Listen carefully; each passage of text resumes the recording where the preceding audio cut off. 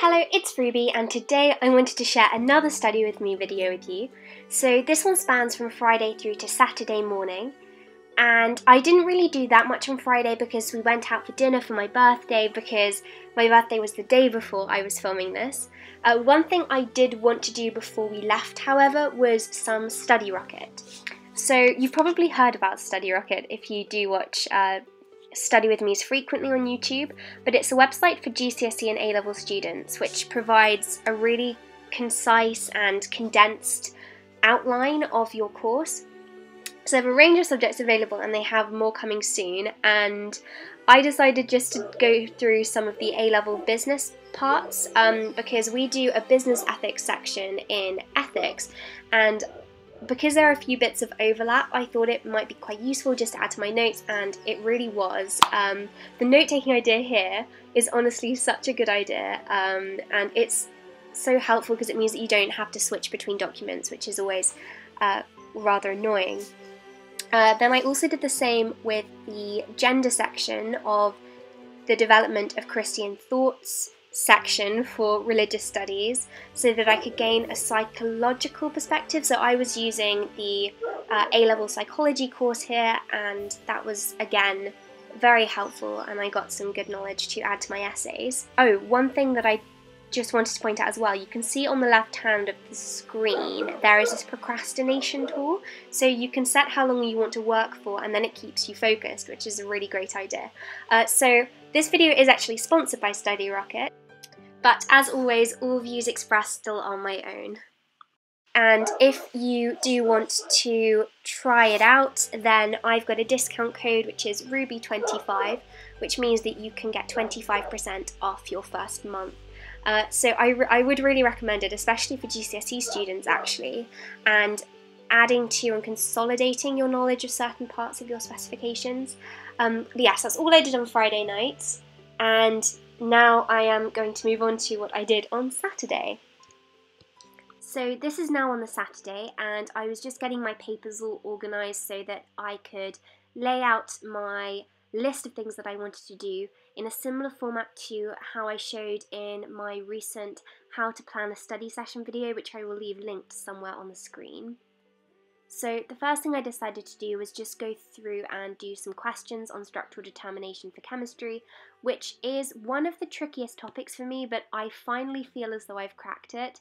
Um, I just wanted to do these questions to consolidate and make sure, but I'm feeling pretty confident with it now, which is a massive relief because it was probably that and amino acids are the two things which I find the trickiest on the chemistry specification.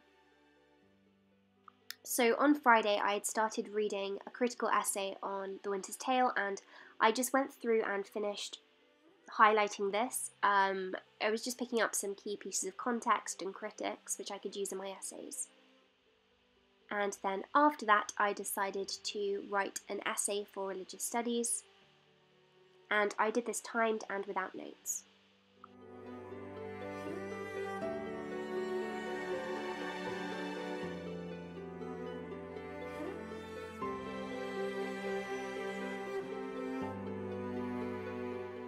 So then after this I decided to just write a really quick essay plan for Plato and also make this mini mind map on Plato's soul. Just This was me just actively trying to recall certain parts of the specification.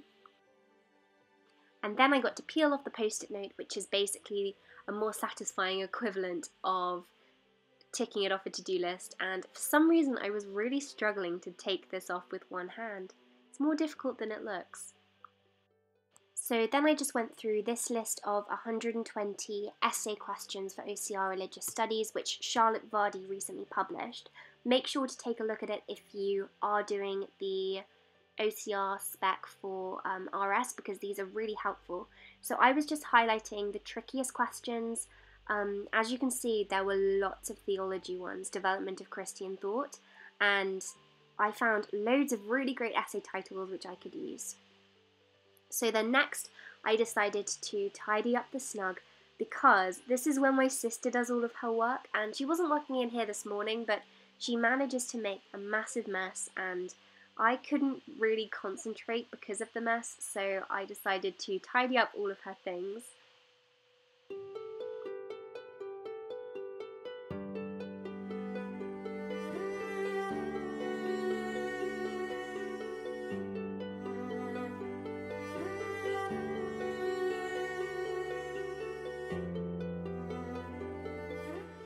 Then next I decided to write an essay on The Winter's Tale for English and I didn't actually realise that my camera cut out halfway through this clip so I'm really sorry about that but I did this for about an hour. So this is a bit later. I decided to watch some of the royal wedding here which is why there was a gap in the time. This is probably about half an hour to an hour later. I decided to take my new Victorian writing slate outside to do some work so I got this for my birthday and it's an antique and you've ah. probably seen them before but it's kind of a portable desk and I really wanted to try using it so I basically brought it outside to lean on whilst doing a chemistry paper and it worked surprisingly well. So I only actually managed to do half of this paper now because at 3 I was scheduled to do an interview and I needed to go inside for that. Uh, I'm not going to tell you what the interview is for just now, but when the article comes out, I will definitely let you know and share it with you.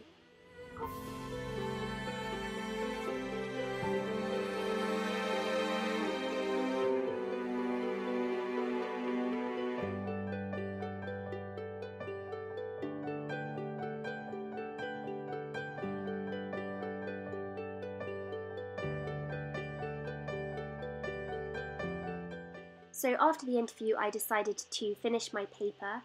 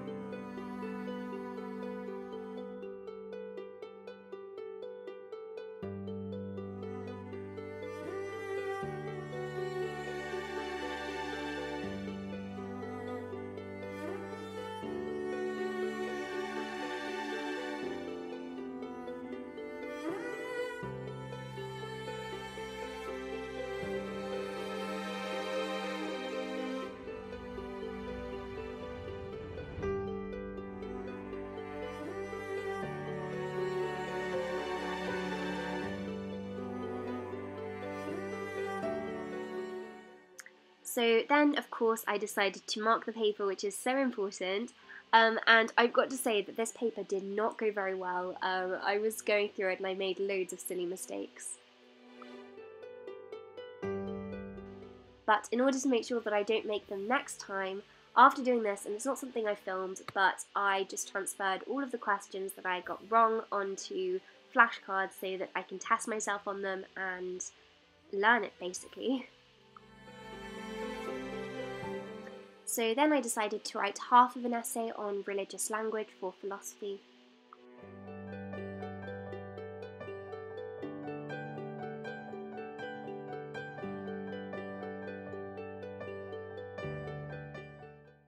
So then, lastly, I decided to just go through and mark the structural determination questions, which I had done this morning, and I was actually really happy with this because, as I said, it's one of the topics that I struggle the most with, um, and I only dropped 4 marks out of 54, so I was quite happy with that.